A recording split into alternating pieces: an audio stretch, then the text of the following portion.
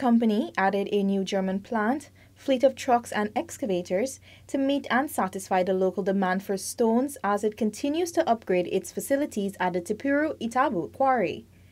Delivering the feature address at a reception held at BK headquarters on Friday evening, Prime Minister, the Honorable Moses Nagamootoo, congratulated the managing director of the BK Group of Companies, Brian Tiwari, on the recent expansion of the company and their continued confidence in the country's economy. So that the investment you see here is an investment of a patriotic businessman.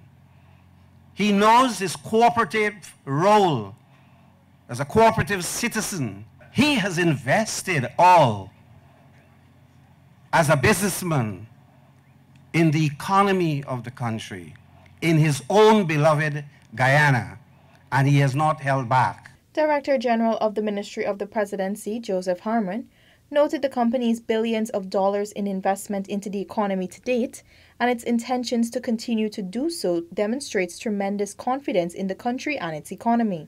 This confidence in investing in Guyana has been the hallmark of the company. As with the massive investment we see here, it continues to upgrade the facilities at the Teperu Itabu quarries in order to increase production. The arrival of these vehicles we see here today mark not just an investment in a company, but a recognition that the future of Guyana is in safe hands under the President David Granger administration and the government of Guyana.